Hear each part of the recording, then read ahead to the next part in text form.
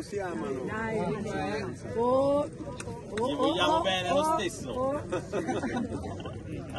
Senza l'utente. Dai, dai, dai, dai. Saluto a tutti gli altri sindaci presenti, al Presidente della provincia, a tutte le autorità militari, civili e religiose. E anche un saluto, oltre che alle bande, alla comunità che è venuta e accorsa a questa importante inaugurazione. Quest'opera è finanziata eh, per il tramite della ciclovia adriatica, un'opera strategica, strutturale che vuole dare a questa dorsale un importante strumento di crescita sotto molteplici punti di vista, quello turistico, quello ambientale e quello della mobilità sostenibile, che è comunque un elemento che in questa epoca è di prim'ordine. È un'opera che è partita finanziata dalle precedenti amministrazioni, che ringrazio, e poi ha avuto un momento di difficoltà durante la pandemia, purtroppo tanti cantieri, tut- molti dei cantieri che hanno attraversato quella fase purtroppo hanno avuto difficoltà. È- sembrava arenata, oggi siamo all'inaugurazione. È un'opera che è simbolo di questo litorale, è veramente molto bella dal punto di vista architettonico.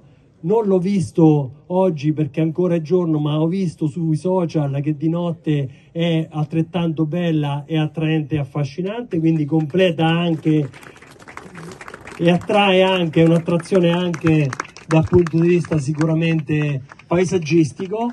E devo dire che è un'opportunità enorme perché questo era un litorale che poi veniva collegato per il tramite della statale 16 noi sappiamo che il traffico che c'è nella statale 16 durante le ore serali e notturne soprattutto nel periodo estive, estivo è un traffico intenso perché questa è una zona ad altissima vocazione turistica quindi era anche pericoloso per i, per i pedoni e per i ciclisti. E quindi invece questa infrastruttura avrà un'importanza import- fondamentale anche per la sicurezza, per la sicurezza dei giovani e per la sicurezza della mobilità. Aggiungo che eh, essendo questa una eh, zona ad alta vocazione turistica sarà un'opportunità di sviluppo perché si potrà attraversare tranquillamente le due aree che, sono, che erano praticamente confinanti ma lontane e distanti dal punto di vista infrastrutturale.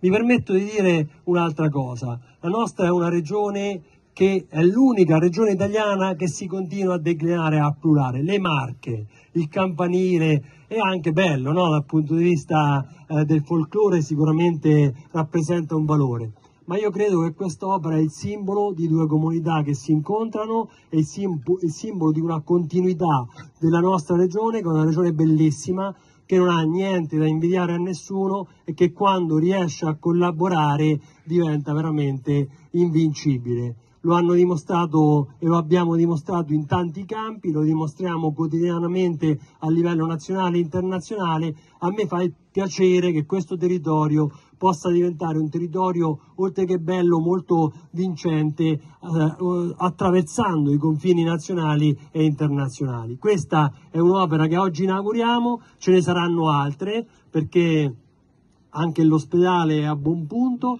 ci saranno altri cantieri importanti in questa zona perché ah, dal punto di vista della viabilità tanto si è stanziato. Proprio pochi giorni fa il CIPES ha dato il via libera a dei fondi strumentali importanti che riguardano e toccano anche la provincia di Fermo, lavoriamo perché a nostro avviso la crescita di questo territorio non può che passare per la crescita delle infrastrutture di cui tanto abbiamo bisogno.